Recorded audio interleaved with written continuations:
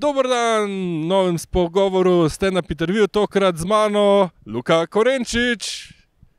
A jaz? Ja, O, živijo. živijo, kako si Živijo. Ja, v redu, super, hvala, hvala za povabilo. Ja, hvala tebi, stari glih, ker smo bili tlele uh, na Ljubljana TV, ker si tudi voditelj. Ja, sem rekel dobro z dobrim, a veš, ne? da če te bom že imel tukaj, potem lahko pa še tebe porabim za en intervju, pogovor, kar ti Matej, tudi ti si zanimiv in hecen človek. Za popizditi, za popizditi, se vem, se vem.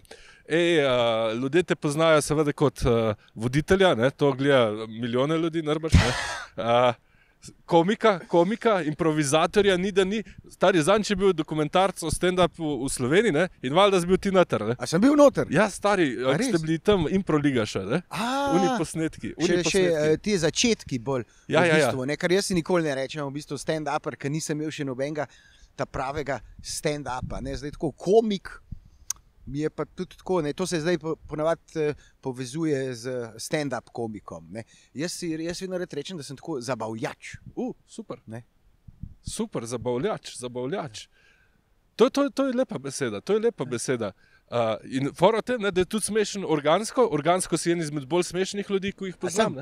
Ja, starek smo bili na pirju čas. Ne, uh, ampak uh, seveda zdaj nismo, ne, ker so gostilne zaprte. Ja, ampak gostilne so zaprte, ampak lahko bi šla pa v trgovino, ne, po kakšen pier. Ja, Čeprav pa v zdaj- parku sva stari, pa žgljava koklošarja. Ja, ja, ne, pač tako je. Ne, ne, vsi smo umetnika.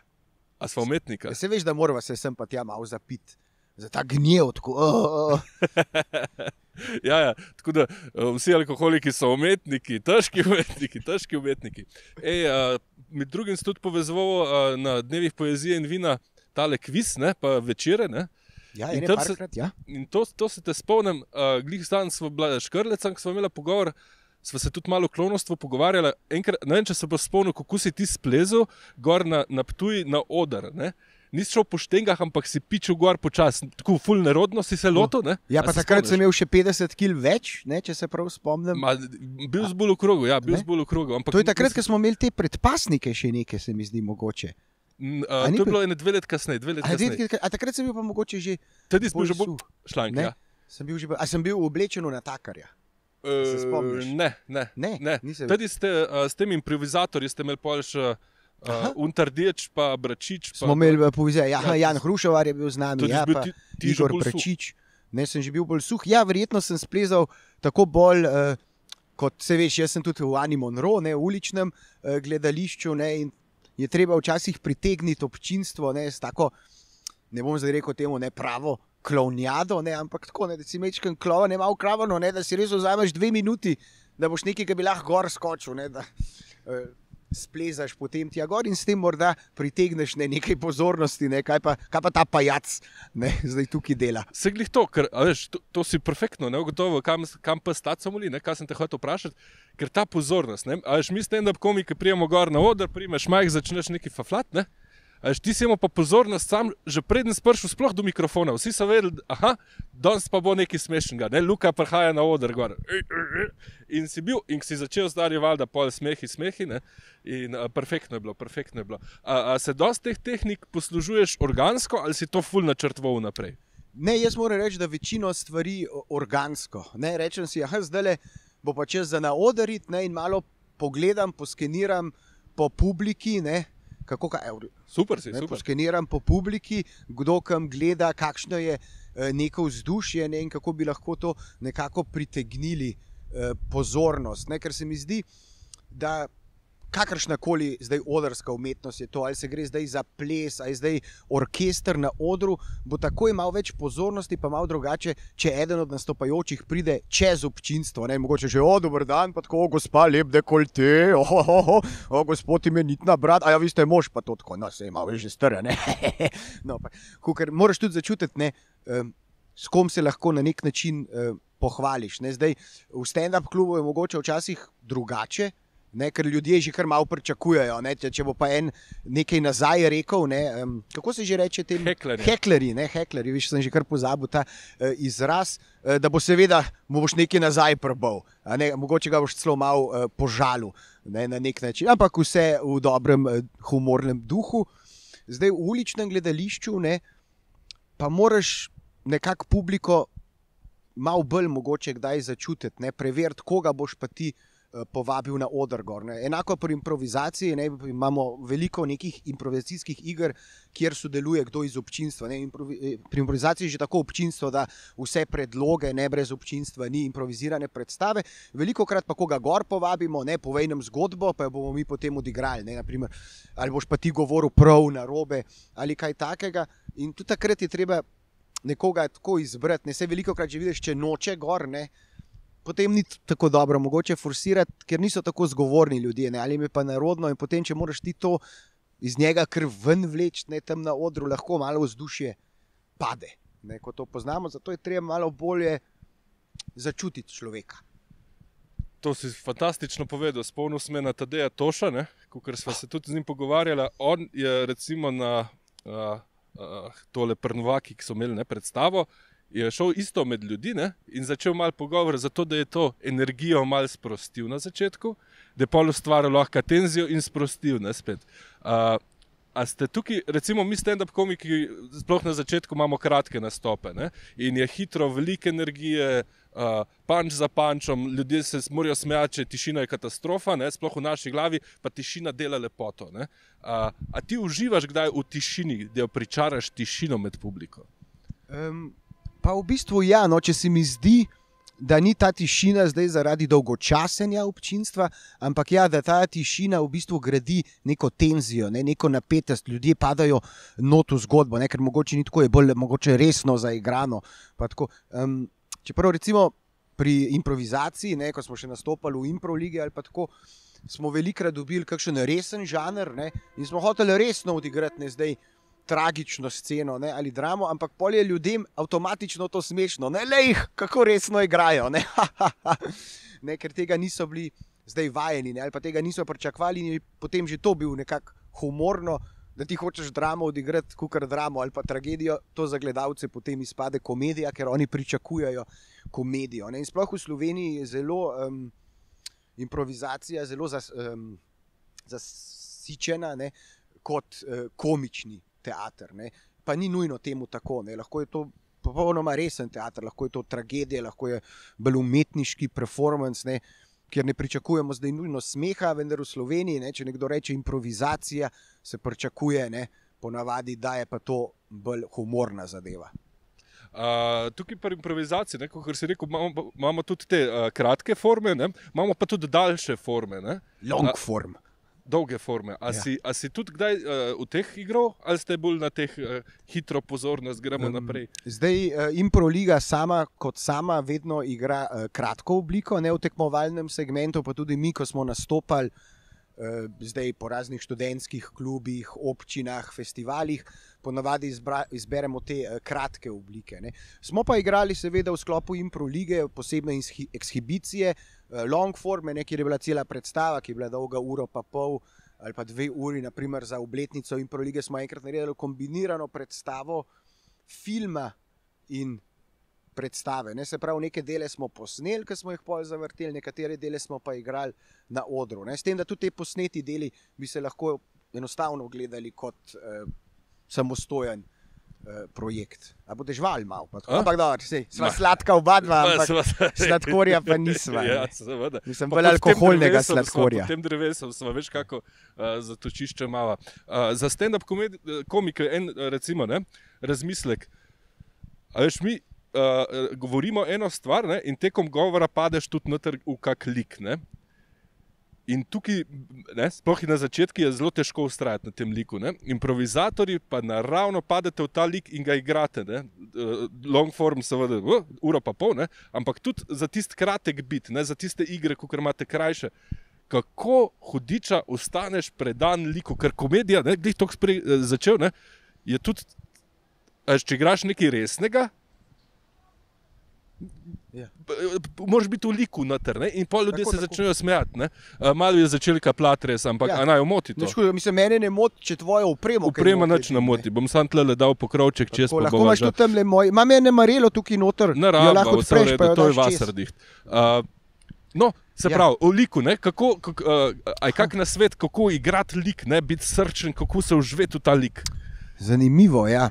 Zanimivo vprašanje. Ne? Meni je nekako to vedno prihajalo organsko, ne? tako nekako samo od sebe. Seveda je pa zdaj spet odvisno, koliko različnih nijans ima ta lik. Ne? Jaz lahko govorim kot Luka, pa imam mogoče samo kakšno fizično eh, hibo, kretnjo, ki zaznamuje ta lik, ne? potem imamo pa seveda tudi način govora, ne? a je bolj raskav, a, tako, a se ta človek skozi dere mogoče. Eh, Če si zdaj kakšen direktor ali kaj takega, ne si rad malo bolj tak vehementen uh, lik. In se mi zdi, da glavno je to, da si ti rečeš takrat, to sem jaz. Ne?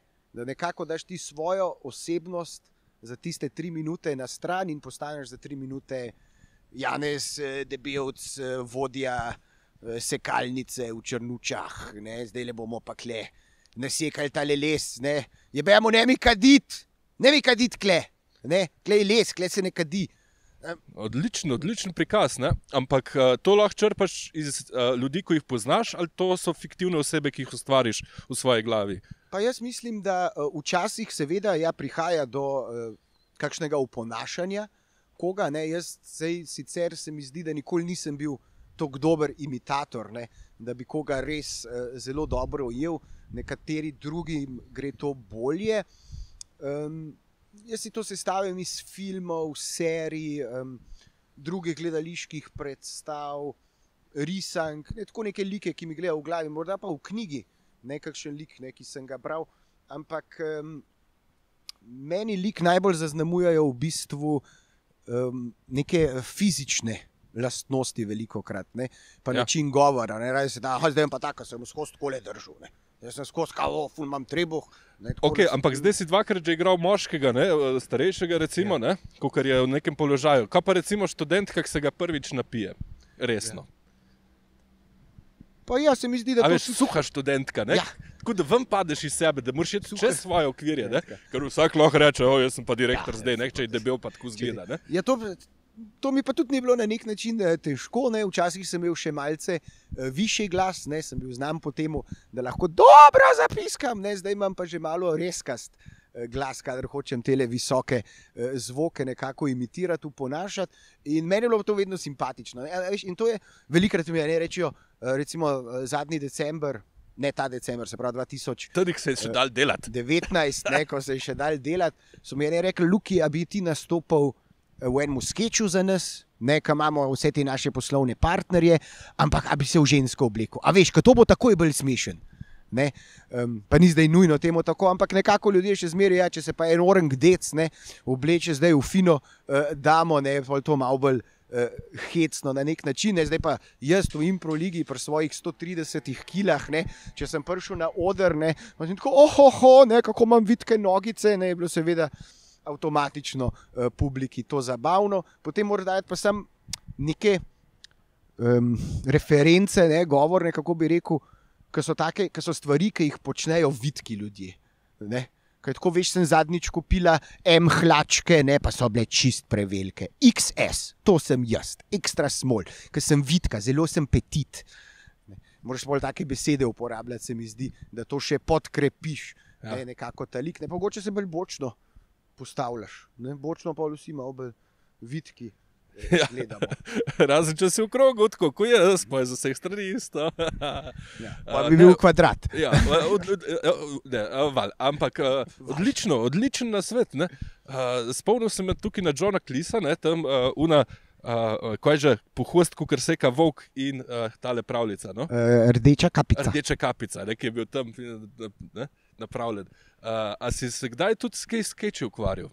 Skeči, ja, smo se ukvarjali, smo naredili nekaj skečev. Te skeče uh, so ponovadi prišli uh, v igro takrat, ko je bilo treba pripraviti recimo, kakšne otvoritvene točke na kakšni študentski areni ali kaj takega. Naprimer, se pravi, da smo, se do, uh, da smo upletli notri določene tematike. Ne. Um, Ampak pri nas so skeči vedno puščali neko, ja, kuži je prišel, ja, ja. ja. kuži se veš, da kadar pes pride, moram vedno psa pogledati. Um, tako da skeči, ja, se jih nekako lahko bolj so usmerjeni, ne, ker se tudi naučiš nekaj teksta. Ne, zdaj, improvizacija to te lahko kdaj odpele. Ne, tebi je neki ful dobr, ljudje se uh, smejijo in včasih kar kam odpeleš, ne, meni se je veliko krat zgodilo, da sem kaj kar pozabil. Ne, so oni rekli, tako no, se lahko bi umenil to, to kar pr pobiramo predloge. Ne, ja, predlog, pipec, pa opera, ne, pa nekaj in pol si ti to kot tej operi in nekaj poješ tam, da um pipec. Sploh ne umeniš, pa to, ker se ti ne zdi eh, tako pomembno. Ne? Čeprav bi mogel. Ne? Vse predloge je treba uporabiti, kar ti občinstvo da. Vsaj umeniti nekako malo. Ne? Ker recimo improvizacija, veš, ko ti dajo predloge, včasih je to lahko samo nekaj, s čimer se prizor začne. Ne? Sploh v kakšnem long formu te prosijo, za nekaj, da bodo začeli, recimo, kravata. Ne? In se pač samo prizor začne, kako nekdo kravato gor daje, in pol naprej, v bistvu ta kravata nima več neke funkcije. Ne? Je bilo le neko izhodišče, nek organski začetek. Na tem v short formu, ne v teh kratkih. Disciplinah so pa sodniki, ko smo imeli v Improligi sodnike, ne, tam so sodniki, ki prav sodijo, ne, ko so še bolj izkušeni improvizatori, eh, so pa prav gledali, poslušali, ne, ali si upošteval vse predloge, ne? ali si vse te besede uporabil. Ne? Če imaš ti zdaj tri besede, ki jih moraš uporabiti, pa da ene ne uporabiš, ne? na nek način kiks, ne? mogoče se pa tudi ti kot občinstvo počutiš zdaj prikrajšan. Prej se ti zdaj ful dobro moj predlog zauzel, ne šmagavc, oh, ki je dobra beseda, šmagavc, pa ga pa niso uporabili. Ne? Tako da je praviloma. No, uh, Je bolj fino uporabiti kot ne, ampak včasih nas pa odpelje. In to je odlično. A, ampak ja, ljudje si delamo iluzijo, ne, da ima vsaka stvar tudi zgodbo. A vi pri improvizaciji uporabljate kakšne strukture zgodb, na katere navlečete pol čez to svojo igro, ali pride to organsko, sam z leti in izkušnjami in vajo? Uh, jaz sem bil um, pri svojih kolegih uh, znan v bistvu tudi na nek način, sploh na začetku, kot nek rušilec ne, uh, prizorov. Uh, to je naprimer, uh, tudi delal tale, um, kdo je že igral, Mrs. Doubtfire. Uh, uh, Robin Williams. Robin Williams ne, je bil tudi uh, znan. Eh, po tem, da drugi so igrali. Veš, oni igrajo en prizor, ne, ti tam čakaš ob strani in se ti zdaj, a ne bilo zdaj smešen, če bi pa ena kamela, veš, noter prišla. Ampak to se zdi sam tebi smešno, nisem vsej publiki, bo tudi smešno, ampak v bistvu s to igravcem si pa prizor podaril. Oni imajo, o, metka, vse bo, bo vse v redu, vse se bo oči zbudil, tako živijo, jaz sem kamela. Ojo, ah, le ni živalski vrt, veš, ali karkoli. Meni se je zdelo hecem, pa tako unizaljevali, tako ja, si mogo to narediti. Pa sej se je folk režil režil, tako, se bi režil eh, tudi eh, drugače. Eh, tako da ja, ne, lahko se poruši ne, kakšen tak prizor na ta način, drugače pa seveda se učimo ne, tudi teh klasičnih oblik, ne, dramski trikotnik je vedno dobra osnova. Ne. Zdaj, um, Imeli smo ta pravila, ne, malo sem jih že pozabil, mislim, da je bilo ene, ene pet, da jih je bilo teh impro pravil, ne, se pravi, kdo sem, kje sem, kaj delam, ne, da probaš ti v teh uh, Eh, Pravno sta dva igralca na začetku na odru, ne, ali pa samo eden, da takoj, ko pride svoj igralec na oder, da se čim hitreje proba zdaj to definirati. Tako, a, oče, pozdravljeni, ne, sem vas že čakal, ravno krsto skupaj zbijamo, ne, sej veste, drava bo poplavljala in ljudje bodo pomirali. Ne, in so vemo, aha, se pravi, on je moj oče ali pa pater ali karkoli, ne, se pravi, zbijava neko krsto skupaj, sva v delavnici in to je nekje na Štajerskem ob Dravi, več kot očitno. Ne, se pravi, določili smo prostor, določili smo neke osebe in neka upravila, ne, zdaj se pa lahko zgodba naprej eh, razvija. Ne? Ker velikrat eh, začetniki je tako, kdo si ti, mislim, sploh ni to, kdo si ti. Okay, dober dan, imate nekaj tako, pa se mogoče nekaj točno ne ve. Dobro je definirati v redu prostor, ker ni scenografije tukaj, ne? ni kostumov. Ne? In moraš nekako z mimiko in z besedami. Ponazoriti. To je super. Ne? Tukaj je še ena zelo, zelo pomembna stvar, je, seveda, ki se je zdaj povedal, je ta motivacija. motivacija. Zakaj sploh se gremo tle? Ker uh, to pozabimo, kdaj. Ker če, če sam, ne, ali, sam neki, recimo, si rekel, oče, ne, ta dvopomensko sta je to starš ali pater. Ne, uh, to je smešno, ne, to je smešno, iz tega se da delati humorja, še pa još. Ne. Ampak ta motivacija, zakaj, ne, zakaj ste prišli sem? Ne?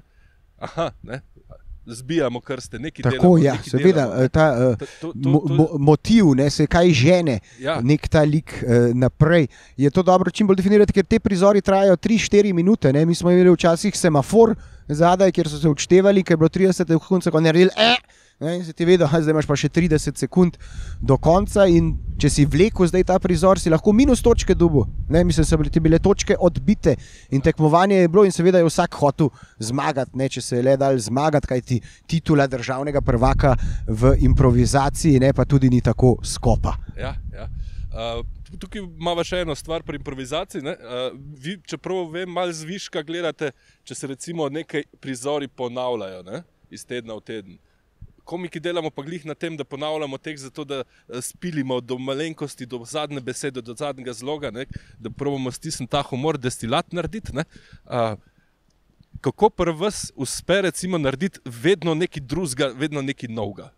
Ja, no, pa se ni zdaj ne tako res, vedno nekaj drugega, vedno nekaj novega, ne ponavadi je, ampak ti opaziš, ne nekaj rečeš, hej, ti si pa ful dobr lik, ne? ali pa boš spet naredil.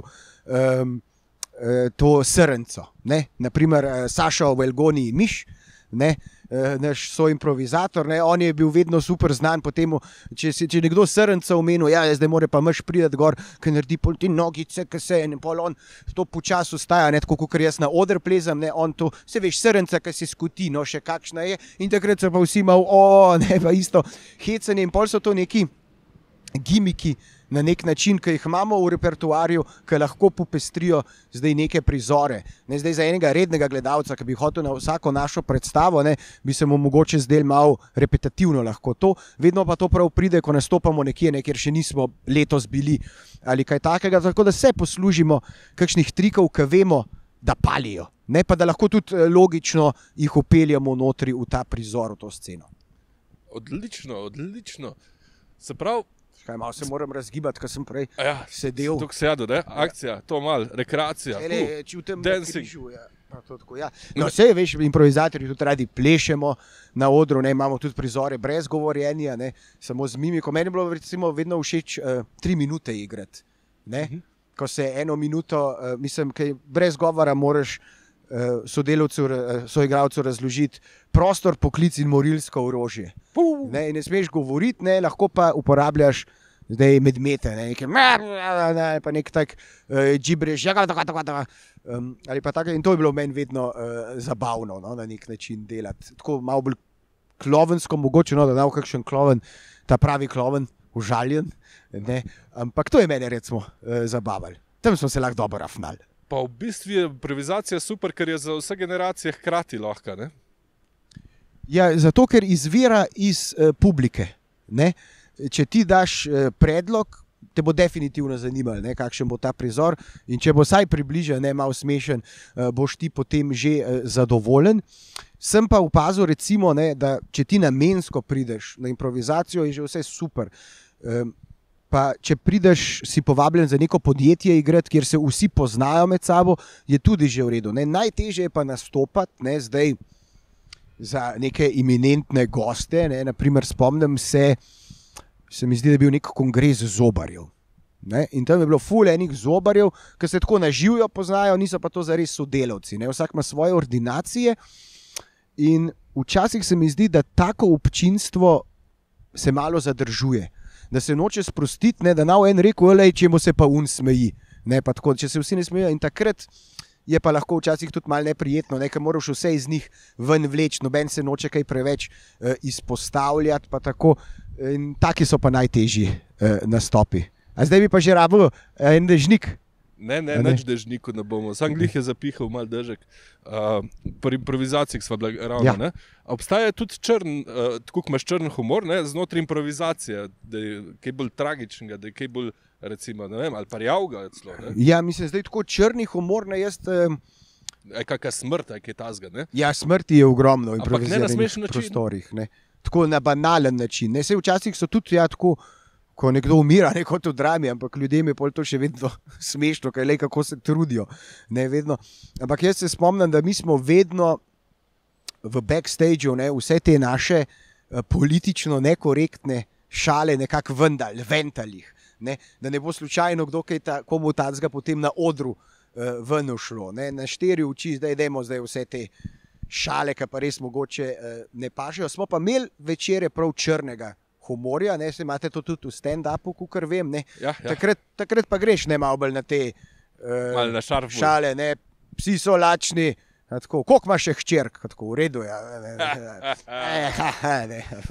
Super, super. Take, ampak to je treba biti eh, paziti, ne seveda. Vse je odvisno, za koga nastopaš, kako se delaš. In te pač treba je vedeti, da eh, tudi če je to se nam zdi hecno, ne, pa to, da to vseeno ni prav, ne, mi se tega več kot zavedamo. In tudi ponavadi povemo, ne, potem po prizoru, ne, da kaj se zdaj smo se smejali, ne, ampak v bistvu pa na nek način lahko tudi upozarjaš ne, na neke pereče tematike, ne, gledališče, konec koncev je vedno zrcalo družbe. Ne, to sem tudi jaz vedno eh, rad povedal. In recimo na začetku um, so me kakšna dekleta, eh, so improvizatorke, ne vedno tako, ja, zakaj si bil pa spet tak mačist ne, v prizoru, ne, kle, "O, žena naredi to, pa tisto, ne, pa te možgal, pa se rekel, ja, zato, ker pač taki so ljudje, ne, to se dogaja, se je dogajalo, je bilo uh, in njim tega uh, ne moremo, ne, se ne da sem jaz tak, ne, ampak Ja. ja. rad bi opozoril, ne, da obstajajo družine, kjer očetje pretepajo žene in otroke, ne obstajajo družine, kjer žene pretepajo uh, može. Ne? In uh, pač nobeno nasilje v družini ni v redu, ne? pa tudi ni hecno, razen včasih na odru. No, ampak moramo pa prek tega iti, da opozorimo na to, da bi bilo najbolj, da se to ne bi dogajalo, in pol se tudi ne bi tega mogli mi spomniti ne, na nek način, in pol tega ne uporabiš. Ne? Ja. Kar, kar česar ne poznaš, ne uporabiš. Uh, Deva za, za, za trenutek skočiti še malo uh, izven, mislim, da je tudi del improvizacije, ne? ampak ulično gledališče. Uh, Pridn možic, uh, Ana Monroe, vse živo, ja. Ja. si del različnih skupin bil. Uh, tam imaš pa ljudi na cest, ki jih moraš pritegniti z igro. Kako hudič. Jaz si ne predstavljam, da bi tam nek se postavil na preširca, na eno gajbo in začel govoriti. Ker si pa ti tam jemu podi, ne? se je pa publika kar nabrala. Se je pa dalo marsikaj. Seveda, takoj, že v uličnem gledališču je takoj lažje, če imaš ti en mehen odrček. Že gajbo, veš, da se gor postaviš, ne, da te ljudje malo lažje vidijo.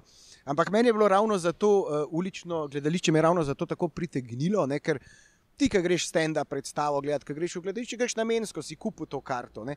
V uličnem gledališču, kar seveda ni, ne, mi igramo na klobuk. Če se danes je dobimo tudi na kakšnem razpisu, kaj tako, ampak radi pa vidimo, če se nam v klobuku kaj uh, pusti. In uh, veliko krat se neki ljudje ustavijo, ne grejo iz trgovine z unimi vrečkami, pa vidi, da se nekaj dogaja, pa se ustavi. Pa prej je bil tak namrgoden, pa tako, ampak pol po 15 minutah ne, se pa smeje, sodeluje ne, in da si nekomu polepšal dan. Ne. Se tudi v gledališču mu polepšaš dan, ne, da se ne smeje, ampak on je prišel že s tem namenom tja, on je to pričakoval od tebe. Ne. Kukor da kupiš dozo dobre volje v trgovini, ne pač pol pričakuješ. Ne. Če kupiš Red Bull, pričakuješ, da te bo malo ne, na hajpov. Uh, in to je bilo meni fino. Ne? Ali Pa videli smo kakšne pare, ki pridete, par pa reče, punca, ulej, ne, tam je pa neki, pa je model tako, "Ma, nek, ne, ne, ni treba.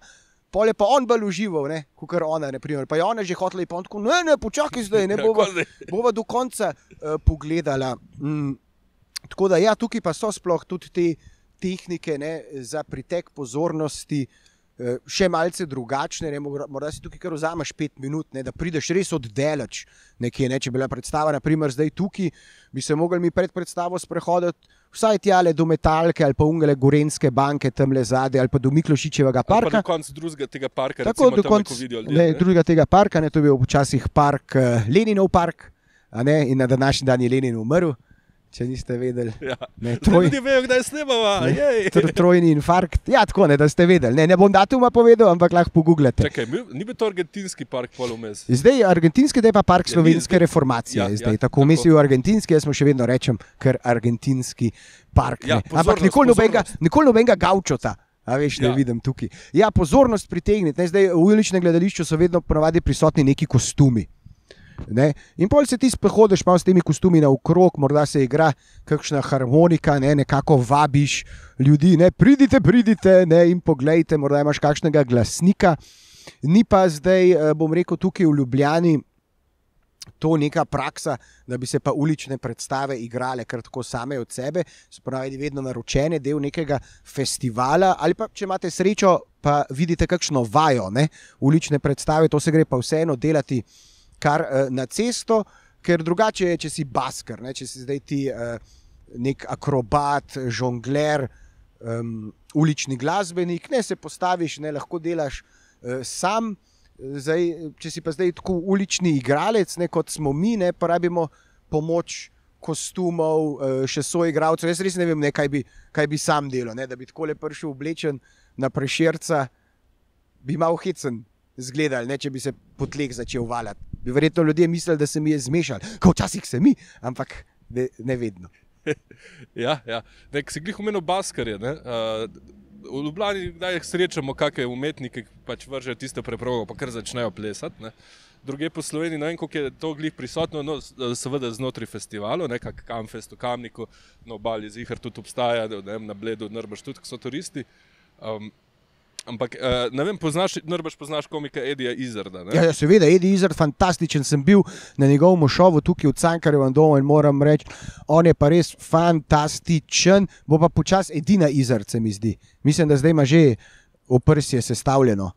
Tako, ja, on je vedno nastopal kot transvestit. Ne, v, na pol ženski obliki, zadnjič sem ga pa gledal, zdaj neki teče, zdaj neki teče na internetu. Zdaj vsak dan teče maraton. Ja. Za eno drugo mesto, ali kako že. Tako, ali... On je pretekel celo Južno Afriko, čez celo Anglijo, maratone, to, kar pri nas dela težake, predtem delo že izart. Ne?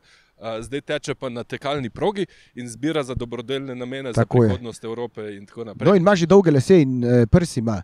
Ti so fake, ne? Fora, so fake prsi. On ima še kar uh, girl mode, boy mode. Aha, ima še girl mode. Ampak je od, eden najboljših stand-uperjev, ki sem jih imel priložnost v živo uh, gledati. No, tudi za posnetki, čudovit. čudovit. Glih zato, ker smo bili glih uh, pri Baskarjih. Ja. Uh, on je tudi začel, seveda, na ulici. Ne? On je začel v bistvu z uličnim gledališčem, potem pa šele začel s stand-upom in od tukaj mu tudi ta bizarne ideje in zna pritegniti pozornost, oh. kako stopi na oder. On eh, mikrofon zelo rad uporablja kot eh, nek rekvizit, ne sploh za kakšno kladivce ali kaj takega. Ja, izredno zabaven. Ne? In v Sloveniji še nisem videl stand-up baskarja. Ne? V tujini sem pa to že opazil. Ne, res pa je, da so kakšna mesta imajo več pretočnosti, ne, um, tudi na zahod greš, ne višji standardi. Jaz se spomnim, ko smo mi imeli predstavo, imenitno predstavo Ane Monroe, večjih teatrov uličnih, um, Mati Korajža, Bartol Brecht, uh, super, super predstava.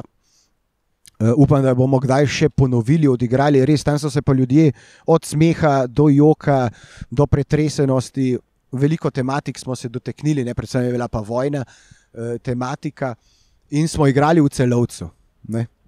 Ja, pa to je velika predstava, nas je bilo 35 igralcev za to predstavo, ne? pa še podporna ekipa. In smo na klobuk zbrali, se mi zdi, toliko da je vsak skoraj 100 evrov dubu, še na klobuk. Ne? Zdaj v Sloveniji se ti to ne zgodi. Ne, v Sloveniji, če imaš ekipo treh, pa da zbereš 300 evrov na klobuk na festivalu, pa si imel ful dobr nastop. Moraš malo tudi znati, ker to je pa pri uličnem gledališču, je to, kako boš pa ti pobiral ne, ta denar, spet še ena druga. Vrlina, ne, še neka druga znanost, ne, ki se jo je treba uh, naučiti. Ampak, kako hiter na svet, predtem nadaljujemo, morda, ker veš, tudi uh, stand-up komiki, kdaj delamo na klubuk. Ne? Ja, delate kdaj na klubu? Ampak eh, v, v lokalih, ne v lokalih. Recimo, ha, zdaj je tako. Ja, se mi zdi, da v lokalih da ljudje manj dajo, kot na cesti. Ne? Ker kar bo v lokalu dal iz svojega žepa, je že en pir manj za njega. In, um, zdaj, veliko jih da klobuk in samo tam stoji. Ne? In zdaj pa jaz klestal. 5-10 minut, ne pač dokler se dovolj tega ne napolne. Ne. E, mi, recimo, gremo malce naokrog. Ali pa mi smo imeli eno, jaz, Igor Bračič, Peter Frankl, smo imeli, no pa zdaj tudi Goran Završnik zraven, pa tudi Juž Milčinski je že pomagal v tem trio, nekdo je imel uh, čas. Ja, šest uh, ljudi, direkt za trio. Ne, ja, ne se veš, tri, ne, ne veš, kaj mislim. No, kaj veš, kaj veš, kaj veš. Uh, trio Šardo, ne, nekaj smo peli improvizirane pesmi in po koncu predstave sem ponavadi jaz šel uh, s klobukom, s culico uh, naokrog. Uh, Igor je pa mu zaigral, ne, uh, mislim, da je še manj, manj, manj, ne, must be funny. Ne, pa naprimer tukaj, le, ko igramo ljubljanske zgodbe, uh, to poletje smo še igrali tam na Gornjem trgu, predstava Ane Monroka, potujemo. Po času tukaj v Ljubljani, zelo imenitna predstava, lušna, simpatična, hecna, in na koncu neko uh, prosimo za nabirko, ne, za uh, klobuk, zavrtijo punce, imamo digitalno lajno, imamo, ne, ki lahko komade štimaš, ček, ček, ček. In imamo seveda mani, mani, mani gor. Ne, in takrat pa zavrtiš, ne, mani, mani, mani, must be funny, ne, in the rich man's world. Um, tako da imamo mogoče s kakšnimi takimi majhnimi uh, pripomočki pa to. Ne, ali pa ne vem, ti bi lahko imel ene full velike hlače. Ne? Pa rekel, da nimaš za zarobiti, pa da mogoče kar sem not nabiraš, veš, bi šel tako okrog. Ja, to bi bilo ful dobra ideja, Da ti- stari. da ti not- mi tu momenti, stari, da hodiš z gatom, mislim, ne vem. No, Ne z gatami, pač hlače, imaš hlače, sem full široke. Ja, Mogoče ja. pa elastične, da jih napneš, da si kot tak mani kenguru. A veš, pa lahko če je kakšna lušna rečeš, ti daš lahko roko tudi malo bolj globoko not ali pa kaj. Ne. Če je ful lušna, ni treba dati globoko roke. Tedenc. Ne, naprimer, ne. ali pa lahko daš več denarja, ti si full lušna, ti imaš, ne vem. Ja, ja, Ne. ja. No. Nekateri dajo več, nekateri dajo manj. Ne, um, Kdaj, Zdaj- kako otroci prinesejo kak kovanček tudi? ne? To, to recimo um, družine, ki hodijo redno zdaj na Ano desetnico, Ano mrz tukaj na naše festivale, eh, ponavadi že kar razdelijo enih 20 evrov, si vzamejo, pa po 2 evra kovančke, pa razdelijo tam mali, in ker se oni si že naredijo plan. Nekdo pozna ulične festivale, si pogleda in si reče, ah, šel bo danes, bom šel gledati te tri predstave, ne se pravi. Za vsako bi bilo fajn, če da mogoče vsaj 10 evrov ne, ali pa 5 evrov tam nekje. Ne, mi zdaj vedno rečemo, tako 5 evrov po glavi je fino, če bi vsaj vsak dal, ne, ali pa še boljše 10. Če pa koga res navdušil, ti daj pa kdaj tudi 20. Ne, čisto odvisno. Ne, tam v Avstriji, ne, pa da ne govorim. Ne, tam pa tudi 50 taki not letijo. Hau. Uh, Bo treba je več v tujino nastopati. ne? potreba je več v tujino nastopati. No, en smo glih pri tujini. ne. Hvala za ta nasvet, ne, za komike. Se pravi, to s hlačami bomo premislili, po domač povem, koda za tega pač ne bomo počeli. Ne. Ja, sem pa si moraš zavezati tudi hlačence. Ja, če Ne. ne, dol pada. Če ne dol pada. Ker to je pa zgodba, ki je bil moj deda v Mathausnu zaprt, je imel njegov kolega Drisko. Ne? Pa če si imel Drisko, so te itak pokazali, pa si je zavezal hlačence, pa je cel dan v hlačence noč srl, uh, pa je šel pa zvečer uprt. Si pa to. Pa ven. Ampak v kakšnih filmih smo pa videli. So pa videli, tako, ja, tako slišiš se, ne, pa sem to, srl je v hlače. Ne, Ja, pa tako, ampak sta pobegnila. Pol, sta pobegnila, no. tako da Saj, saj to, to, ratelj nam je. To, to. Uh, tujina, tujina. Uh, a, loviš slovence po morskih lokacijah na Hrvaškem, ko, se, ko migriramo tekom poletja, ali a, hodiš po festivalih, recimo s skupino? Zdaj, jaz, eh, kar sem nastopal v tujini, ne, eh, pa moram reči, da tega ni bilo zdaj, eh, vsaj za me, tako veliko, kot mogoče za kakšen iglu teater. Ne. Juž Melčinski vidsodnik Petr Frankl, ne, fanti so mednarodno res aktivni, imajo veliko mednarodno mrežo, kajti v tujini je veliko improvizacijskih festivalov, veliko stand-up festivalov in v angleščini smo slovenci zelo dobri, ne, se da improvizirati zelo v redu. Ne. Eh, Se mi zdi, da za stand-up moraš pa še boljš angliščino imeti, ne, ker moraš se na pamet naučiti nekako, ne tvoj stand-up nastop v angliščini, se mi zdi malce trž oreh. Tako no, da nekaj je bilo, za eno desetnico smo, za eno Monro smo seveda eh, šli kdaj, ampak to v sklopu um, ene desetnice, včasih smo se zmili v kakšnem zamejskem mestu, eh, pa tudi kam eh, šli. Bolj kakšne izobraževalne no, zadeve. Jaz sem se bolj izobraževal, ki je v tujini. Pa, pa, pa še skočiš malo po prakse. Malo Mal po praksi, ja, čeprav nisem toliko nastopal po tujih ulicah, moram priznati. Aha, ti, Bolj so, po- si, eh, so ti slovenski tlakovci bolj ljubi. pol. Tako slovenski tlakovci so mi bolj ljubini, nekako jih bolje poznam. Eh, lahko bi pa šli, ne, nis, nismo se prijavljali. Ne, se veš, te, te moje skupine, mi smo bolj nakomotne. Ker nas kdo pokliče, ne gremo, ni se nam zdaj, da je Ja. težak. Ne. Zakaj pa ne more biti še tam le en uličen eh, scenka gor na gradu, ki imaš panč. Ne. Pa pač ni. Če bo hotel, bo že poklical, ne se ve, kje smo. Ja, ja, ampak daj pa treba tudi reklamirati se mal. ne. Uh, in smo glih pri tem, ne, se pravi. Prek smo rekli, okay, na drugem koncu parka nastopaš, nekdo gre v krog z megafonom ali pa ne, z glasom in reče: O, zdaj se bo pa nekaj začelo. Ne? Ali pa plakat, ali pa zdaj inter, internetne oglaševanje, to Facebook laufa, ne? vsi vejo, eh, kaj se kdaj kje dogaja. Če bi začel, pa, a si kdaj solo, solo šel prav na ulico testirati kako vrščino, sam, brez vseh kolegov? Eh, Po pravici povedano, ne. Nisem. Da bi šel pa tako zdaj, da bi si rekel, veš, da grem Ja, na ulico. Tako. Uh, v bistvu nisem, nisem bil sem sam, ne pač kolegi so bili tam zraven, ker je bilo pač to, te predstave, kjer nas je 10, 20 noter ne, in so različni liki, je treba ta lik še razviti, dodelati. Ne. To mora veliko krat vsak igralec sam zase narediti v uličnem gledališču, ker se tudi eh, predstave zelo organsko sestavljajo. Ne sej neke like si že zamisli vodja ali režiser, ampak se potem vedno lahko razvijajo ne, v en malo bolj organski lik. Takrat se pa gre, da je malo uh, probavati, ne sem je veliko lažje v kostumu. Ne, ker če ti nisi v kostumu, ne, pol te imajo ljudje za norca. Ne. Se tudi, ker si v kostumu, ima pol ljudi za norca, ampak večina ljudi je jasno, da aha, to je nek, nek igralec, to je nek performance, ne. noben ni iz polja všel. Odlično. Uh, Stand-up komik, ko stopi na oder, a nosi takrat kostum. Večinoma časa se stand-up komiki recimo prevzemijo, da se ne preoblačiš. Se pravi, prideš v lokal, v majici, srajci, polet kratke hlače, v kratkih hlačih nagreš glih na oder, ampak recimo, da priješ tako, kot si zdaj, ne, da bi bil tlele figuc odprt, pa bi šel pa nastopati dva metra stran. A je to kostum ali ni? Um, jaz mislim, da ni. Jaz mislim, da za kostum se moraš preobleči. Ne prideš že v kostumu na nek način. Ne. In recimo tudi mi, ki smo uh, kot impro hodili nastopati, eni smo že prišli oblečeni, tako kot bomo nastopali, ampak si si pa vedno dodal mogoče kakšno kravato. Ne. Nekateri so si celo obleko sabo prinesli. Recimo težak je bil znan po tem, da je vedno v neki grdi modri obleki. Uh, ne, se ni bila to grda, težki. Uh, v eni modri obleki nastopil. Nekateri so imeli vedno metulčka, gor, naprimer, ne. jaz sem imel vedno brez rokavnik, nekaj časa, gor, da sem se krival vso to svoje salo, malo bolj. Pa vedeti moraš, ne, zakaj ti kakšna stvar prav pride. Ne. Fajn je imeti včasih, da nekaj odpneš, imaš tako neko gesto. Več, ki jo lahko narediš, da podkrepiš. Da se malo razpizdiš. Ne? Kakšno sceno. Ja. Da, da, da, da plašč lahko rečeš, flaf. Ja, da zavihra. Ja, naprimer, ne, če hočeš biti kavbojc, ne kaj boš brez lekalca plašča. Ne, to je veliko bolj dramatično, veliko bolj seksi, veliko bolj vse zgleda, ne, če nekaj zaplopola eh, za tabo, kot če sam si v eni srajci. Ja. Ker sem pa že videl tudi eh, v desetki, naprimer ko so nastopili bolj začetniki, še, ne, je enkrat en prišel tako oblečen, full v hipija. Uh, ja, iz ja. cela, cela, cela tri, tri, neki. Ja, ne spomnim se, ampak tako, res to je imel tako ruto, veš, tako, da je iz Woodstocka prišel. Ampak to je bilo pa uh, to. Je bilo pa to On je iz Woodstocka prišel in to je bilo to.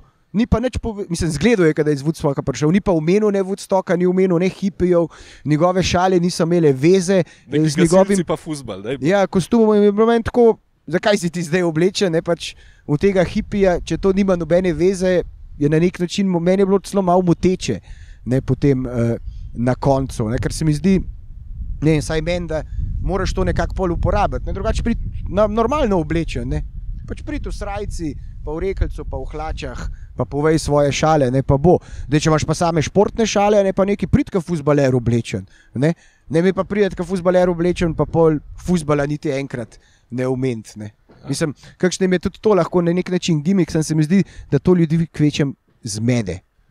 Uh, recimo, tukaj lahko se uh, Admire Baltiča, verjamem, da poznaš. Ne, uh, Baltič, legenda, ne? Kdo ga ne pozna? Ja. Biti ga še poznaš, so zradija študent. No, ampak uh, za stand-up je razvil untale svoj lik žutega, kot ga tudi igra zdaj, kaj dogaja, je ta pričko, ne, Admir.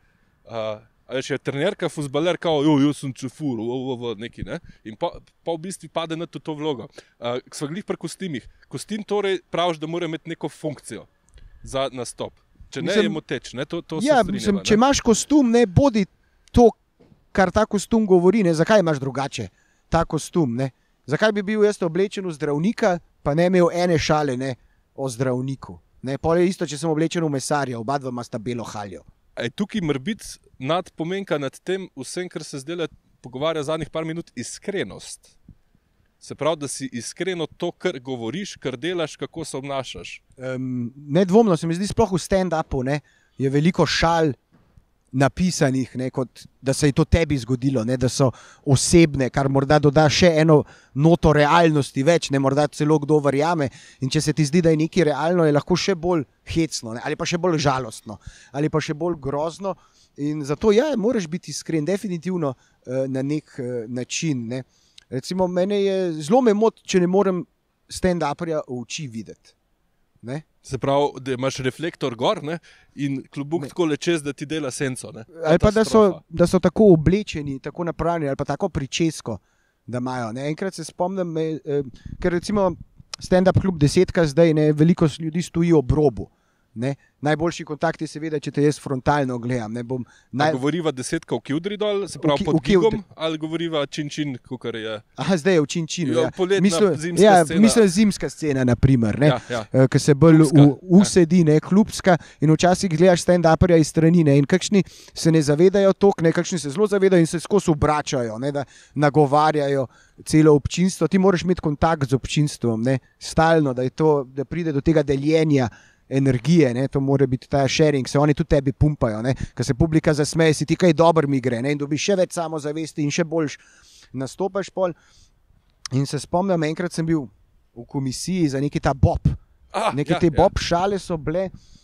In je eh, Kaja Grozina, naša mlada Kaja Grozina, nastopila in ona ima lepe, zelo lepe lase, drugače pa je imela zelo tako dolge ravne. Ne, in jaz je cel nastop, ko sem bil tam, nikoli se jih ne obrnila, jaz sem videl samo en nosek, ki tam ven štrli. Ne, in sem bil totalno nepovezan s tem nastopom. Ne. In jaz sem mi to tudi takrat povedal, ne, da je pač to recimo, mene osebno eh, motilo in se mi zdi, da moraš tudi na take stvari paziti. Ne? Ja, ja. Da, da, da se dovolj odpiraš, ne? ti se moraš odpirati na publiko. Ne? Ljudje morajo videti, kaj se dogaja. Ne? Takrat je zanimivo, ko vidijo, kaj se dogaja. Ne? Ker, recimo, meni se največji let dal, ne, neki. eh, Če imamo mi dva zdaj eno steno, ne, ne pri neki ulični predstavi, in zdaj mi dva neki zadnji sestavljava, ne, neki zadnji sestavljava, kao uh, uh, uh, traja to dve minuti, ne, in pol prideva in kar nekaj drugega nadaljuje. Seveda hočejo vsi videti, kaj smo tam zadnji sestavljali. Ne? Je prav, da to pokaževa ne? na nek način, ljudi presenetiva, jih razveseliva. In pri stand-uperju, ki je pa samo on na odru, ne?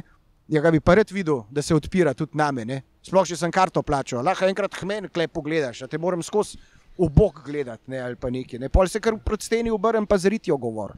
Ja, ja. Humor, to videli. Uh, uh, spomnil si me tukaj na en nastop v Pišek baru. Ne? Ko smo prišli, uh, takrat mislim, da, da me je Tin Vodopilc uh, vzel sabo. Ne? Je rekel, uh, tole, tole bo pa mal čuden nastop zdaj. Uh, je bil super, un, ampak pred tabo je bila publika, ne? tukaj bil, uh, ob nas je bil seveda šank, kjer so imeli kavo, ne? pa lepo stregli, se pravi glasno glih na punčlajnih, če se le da, ne? tiste dva punčlajna, ko imaš kot začetni komik. Ne? Pa je bil pa problem, ne? za sabo si imel steno, za steno so bili pa ležalniki in klopi in so tam sedeli še za tvojim hrbtom ljudje. In kukorkoli si se hotel krok obračati, si pol enem kazu hrbet, ne? to pa spet ni lepo. Ja. Te krožne dvorane ne, so različne, zelo zahtevne, kot krtale v Cankarju na domu. Ne, Štihova. Dvorana je taka krožnja, tam se moraš dejansko ne, stalno okrog obračati, ne, ko govoriš, o, dobrodošli Pa na našo predstavo, danes bomo se smejali, jokali, ne vem, kaj se moraš skozi vrteti, moraš paziti, da ne bruhaš pol, če se ti zvrti ali pa kaj takega. Se ne. moraš v kontra odvrteti. Ne se moraš ja v kontra odvrteti, ali pa ne vem, da bi dal kakšno ogledalo, kam. takrat bi prav prišlo. Se je bil, zdaj sem bral en članek, da je bil en človek, ki je imel uh, uh, obraz še na drugi strani glave. Ja, tako je bil rojen in poj sem umor naredil, je. Ker mu je baje una glava skozi večer govorila, ne se ubija ali nekaj takega. Taka je bila ta zgodba. Ja, se, nek način tragična, ampak dajmo si priznati, no, Kar smešno. tudi kar smešna. Kar ne, smešno, ne. E, um, za, za, za improvizatorji z vami snimamo večkrat priložnost deliti kako uh, osvežilno pijačo poleti. Ne? In jih streljate, stari, tudi kot ste uh, ne, v, v, v, privat, v privat sektorju. Privat sektor. Kaj je z mano, stari? Ko Ko ste v privat družbi. Ko si v kak privat družbi, sektor? ne v privat Stari, sektorju. javno Ja, skozi, jih, skozi jih na nek način streljamo, ja, ampak to je za nas res nekako, bi rekel, čist naravno. Mi se to sploh ne zavedamo, ker improvizatorji imamo toliko enih misli skozi v glavi, se mi zdi, nekih stvari, ki jih hočemo pa vendati, ne, pa tako deliti, pa mogoče tudi probati. Ne sej stand-uperi tudi sprobavate šale pri prijateljih, o, kako se ti pa uh, tole zdi. Ne. Ka- Enkrat sem nekaj napisal, se spomnim, ne, za stand-up. Pa sem pol Bračiču rekel, pa Hrušovarju, pa ne vem komu še tem mojim.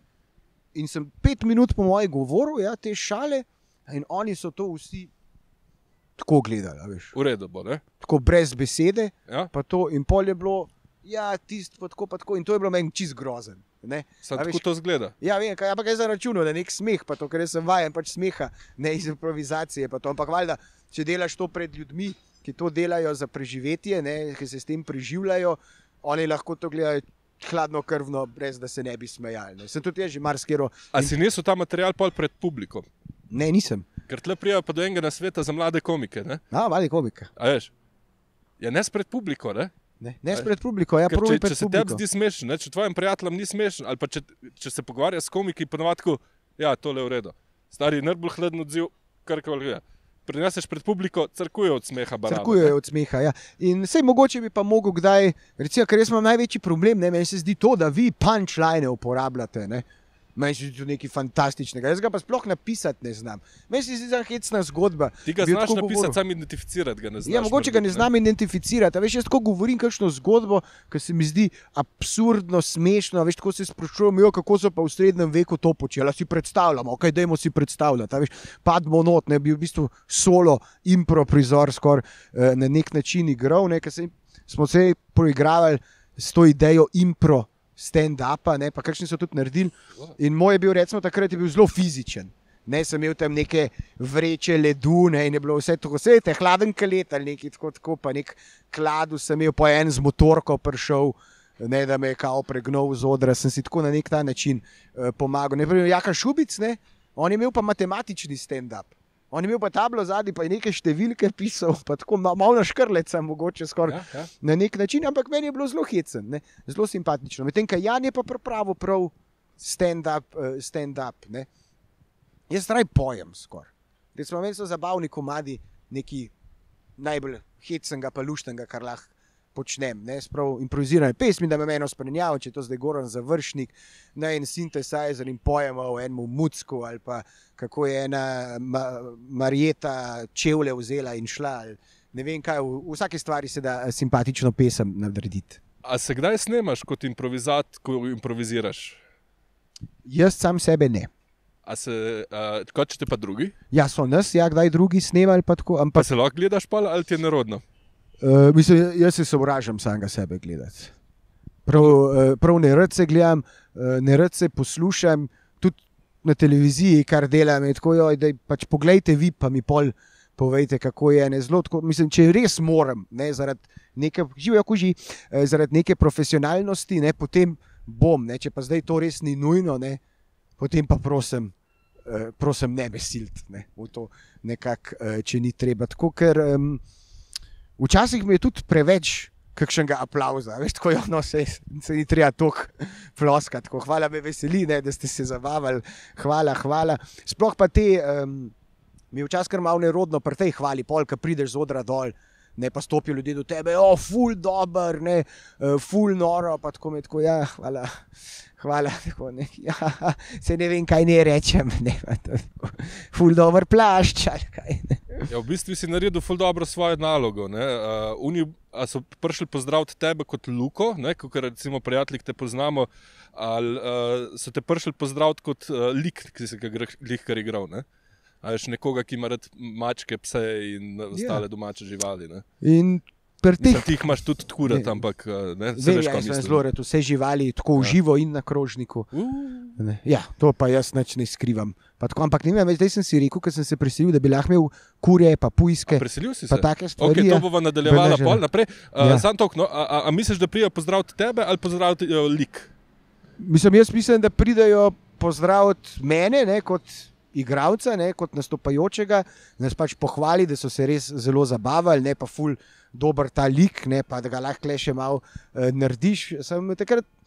Mi je pa včasih tako, že kar večkrat tako nerovo. Vse mi je ful dobro, da se ljudje zabavajo. Jaz pravim, da bučen aplaus in smeh je za improvizatorja, komika, katerega koli, ki nastopa, lahko eh, najlepše darilo in tudi plačilo, poleg honorarja, seveda, ne, ker samo od aplauza se ne da živeti, to vemo. Ne, nekdo, noben ti pira ne za aplaus, ne, kaj šele, kakšne pečenke ne, ali pa kaj takega.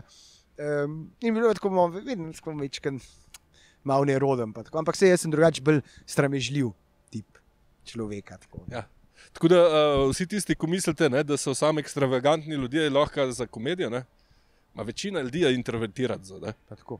Ja, se vsak na kakšen tak uh, svoj način. Ne, ja. Pa tako, um, dej, če jaz vem, da nastopam, mi ni problema. Ne karkoli reči, to je eno liku. Ne, lahko kogarkoli oblajam na ne vem kakšen način. Če gre pa to zdaj za realno življenje, se ne, pa tako sem lahko pa ful živčen, pa kar ne vem, kaj bi pa. Ma... Oh, lepo. Mislim. In uh, da, da Luki ne bo preveč narodno, ne? Ej, uh, ful ti hvala, ta star. Uh, super, je jaz Ja, ne, fora tem, da bi se lahko pogovarjali. Lahko bi dve se, uri. ne, ampak ti si vmes kadil čike, jaz jih pa kle nisem mogel pred Ja, kamero. sem, ti si profesionalen, jaz sem na drugi strani kamere. a Veš, uh, in jaz si lahko prvoščim ta luksus, ker YouTube tega ne cenzurira. Haha. A, imenitno. ne, veš kaj, uh, bova mi se še kdaj nadaljevala pogovor, ker ne, niti pet vprašanj nisem uspel postaviti, uh, ker me še zanima 100 tisoč Malo stvari. malo sva popraskala. a ne. Mal sva, mal Po Tako, tako. Uh, če te ljudje hočejo naročiti, recimo za kak korpo nastop, da zdaj le boš ne, prebit prvoli, a si ti na Facebooku in na Instagramu, Ja, imam- spletno stran, ali Imam? Instagram, imamo Facebook, imamo drugače tudi. Imamo, ko imamo. A si Mislim, Luka drugače, Korenčič, jaz- ali te, kaj te ljudje lahko Ja, dobijo? drugače imamo dramsko društvo, lastniki humorja. Aha, Um, mislim, da imamo celo še spletno stran, nismo zdaj nekaj zelo aktivni uh, pri samopromociji, ne, ampak kdo nas pozna, kdo nas hoče, ve, kje nas najde. Ja, drugače pa na Facebooku, načeloma ne odvrnem nikogar, ne odgovorim na vsa uh, Messenger uh, povabila, na Instagramu imam odprt profil. Ne, tako da tudi uh, stokite luketa, ne? vabljeni. Ja. Um, ja, če se me pa hitro najde, no, vse morajo biti te telefonske številke nekje objavljene. Tako, če napišeš Luka Korenčič v Google, definitivno prideš do mojih uh, kontaktov. Ja, za kakšen korpo nastop, rojstne dneve, uh, detke mraze, božičke, marsikaj delamo, ne, marsikaj delamo, tudi skuhamo kdaj kaj. Ne, um, Majster šef pa prišle drugič. Ja, team buildingi, uh, vino znamo dobro piti. Eni znamo pivo dobro piti, ne, ti znaš boljš pivo piti, jaz znam boljš vino piti. E, tako da se priporočamo ne, za najrazličnejše e, stvari, ne, radi plešemo, radi pojemo. Ne, e, Jingle, ne napišemo vam jinglov, uh, kar hočete. Pridite v našo pekarno, tukaj pečemo kruh. Ne vem, ne, to, Ja, zdaj, ja. to je bilo slabo. To je bilo zdaj To, slabo. uh, boljš, boljš naredijo, kadar se Ja, pripravimo. to. Uh, tako da uh, najlepša hvala, Luka. Uh, pa se vidimo na, naslednjič. Ja, Srečno. hvala, Pušnik, srečno. Srečno, mladi stand-uperi. Ne obupat, ne obupat, ne obupat, ne obupat, ne obupat, ne obupat, ne obupat, ne obupat. A veš, to se misliš, da boš fade out naredil, pol, da boš rezal. Ne obupat, ne obupat, ne obupat, ne obupat, ne obupat, ne obupat. A veš, to se pa tudi ima uh, repetitivnost? Ker mogoče na začetku ni smešen, ampak po desetih minutah, ne?